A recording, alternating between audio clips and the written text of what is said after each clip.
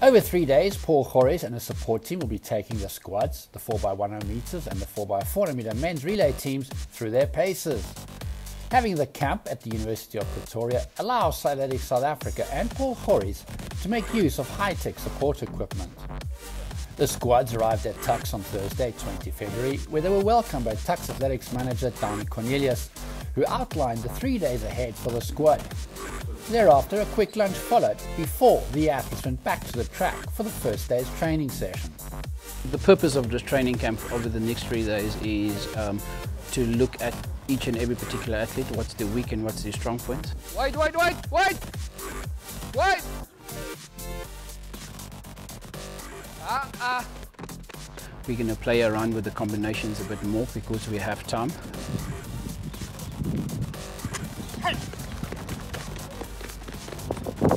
Too close, they're on top of one another, they need to move out. We need to create a little bit more space. Simon is also close in the gap on Clarence, so there's no space to work with. You know, guys like Akani, you know what he's got to offer. So, um, you know, I know what I have within him, but I need to work a little bit more with the other guys. Ah, ah. No, no, no, you Steve, you're not supposed to call. To make sure by the time we get to Tokyo, we have the perfect six guys that will be able to do the job. So we'll do a lot of takeovers, a lot of drills, um, some video analyzing, um, so that the guys can see what we, what I'm saying to them and what I'm talking about. and, and so that they can see what they're doing right and what they're doing wrong. So, you know, so we can paint that picture within their heads so, so that they understand it better, when, especially when they see it. Time now to meet the 4x100 meter relay team. Akani Simbine. Clarence Munyai, Sinesipho Dambile, Simon the Lion Magakwe, Enrico Renke. Chederick van Wyk, Thando Roto. Tlotliso Gift Leotlela, Tando Dlodlo, Patuchezo Maswanganyi.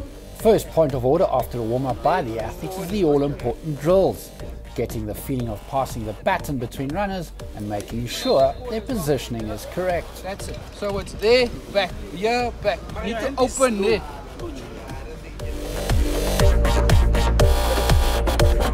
Get the, get, get, get, open the hand, open the hand. Palm down, open the hand. Once comfortable with the handovers, the athletes repeated the drill, this time running on the spot. As Paul explains, this is to make sure that athletes get used to the feeling of calling and getting the baton in hand timelessly. Don't grab, don't grab. Okay, swat. Scheme, go to the front. Once that is in place, the actual practice in the zones becomes a whole lot easier. Okay, cool. Guys, what we're gonna do now here? Okay, I want you to check, you guys, what? How soon he moves. I'm gonna stand on that side to, to check the exchange. So just see if he goes on the mark.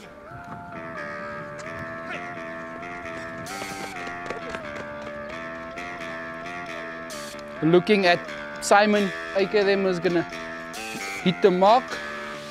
If he goes on the mark, and I'm looking at the exchange on the other side. We need more practice. Watch the mark. Okay, let's see.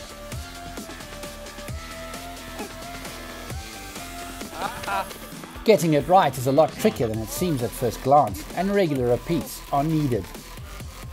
So you can still watch the zone from there. That's not, you need to stand there. So that thing is on the right side. You standing here. So it's still the same zone. Even if you do it on the other side, it's exactly the same. You need to move back. Right, left. Let's bring a, let's get a good one here. We didn't have a good one yet for the afternoon. Cedric, go a little bit back and give some more speed. Thank you. Everyone's starting to close. So by the time they get here, they're still accelerating. Okay. Work it, work it, work it.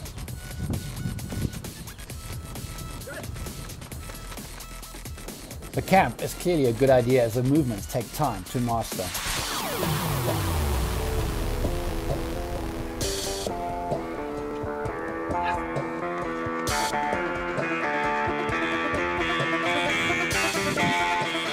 And you were, there was no hesitation. You were on speed. everything. You know, the, the, the, the, we can make the exchange a little bit faster, but we'll get that. But the zone is right. But that's, I mean, you were on speed immediately. There was no hesitation. Just the core we'll work on. That's it. Good job. Thank you, sir. After a long day of practice and trials, the coach finally expresses his satisfaction. Although Paul is acutely aware that there's still lots of work to do. Look, we some of the exchanges was good and some of it not so good and some of it you can see the newbies that's here. Um, we have a lot of work but um, I'd be worried if we had no work.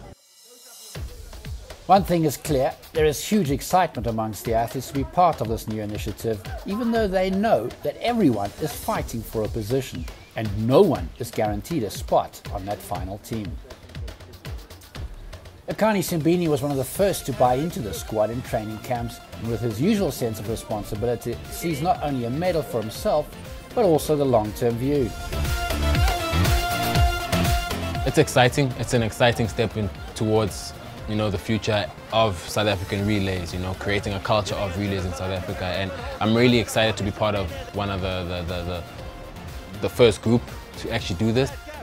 While he is acutely aware that he and the rest of the squad are trailblazing the future, Akani is looking to secure his spot on the medal podium in the relays in the near future.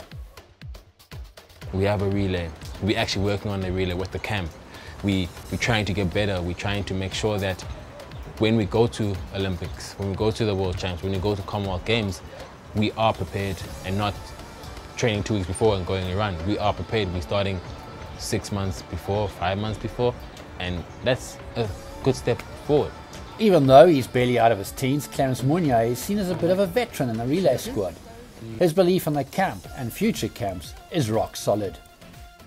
One of my first sessions ever for relay training. It was quite good uh, getting to know some of the new guys that haven't been in a relay. I think it was a good session.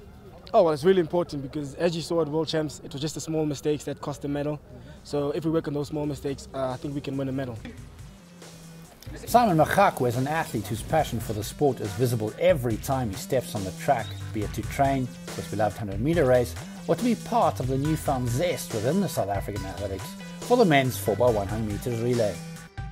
I'm excited. I mean, it's been too long since we've done this. I mean, we did this, I think that was like 2009. So it's getting back now. Everything is getting to table. I think we are getting to the right motion. Uh, you know, running with the youngsters and then get used to uh, getting the baton from from them. It's a good thing, you know. Like I mean, they are learning something. I'm learning something from them, and you know, can see that they are fast. And then uh, as soon as um, I mean we get into the knowing each other, it will be very good, especially for the youngsters because me I have experience so far. Yeah, I'm very excited. Uh, I've been a part of the relay team since 2013 and on all the big occasions except Commonwealth Games 2018 we never managed to, to get the, the proper medals. So I'm excited for the guys to finally like buy into it and all the other athletes also um, committing to it. My heart was broken when uh, I was left behind for the World Relay team that went to Japan. So I'm happy that I was able to prove myself in Doha that I'm, uh, I'm, I'm, a solid guy for the start and I'll, I'll be looking forward to running the start again in Tokyo and I'll be much faster than I was in 2019.